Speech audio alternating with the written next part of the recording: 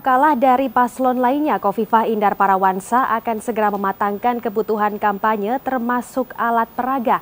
Meski begitu, dirinya juga akan memanfaatkan media sosial untuk memudahkan akses komunikasi digital demi mendulang suara dalam Pilgub Jawa Timur.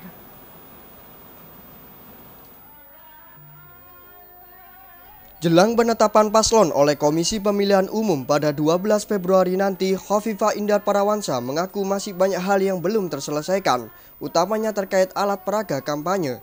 Hovifa mengatakan akan segera kumpulkan relawan untuk memperkuat dukungan. Tak hanya itu, Hovifa Indar Parawansa juga akan gunakan media sosial untuk kenalkan dirinya dan Emil pada masyarakat luas, terutama soal program Nawabakti Satya yang digagasnya dalam Pilgub Jatim kali ini. Ya sudah dipetakan, jukam-jukamnya sudah, format-formatnya sudah.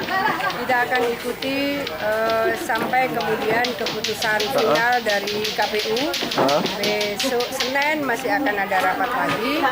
Misalnya yang terbuka boleh berapa kali, levelnya provinsi berapa kali, level region atau level kabupaten kota berapa kali terbuka, tertutup persisnya seperti apa. Menurut informasi sampai saya on the way ke sini tadi, saya masih update itu uh, belum detail gitu. Nah, Senin kemungkinan akan ada rapat kembali. Saya ingin memastikan bahwa kita mengikuti regulasi sebaik-baiknya. Meski begitu, hingga saat ini Khofifa Indar Parawansa masih menunggu keputusan final dari KPU terkait aturan detail kampanye.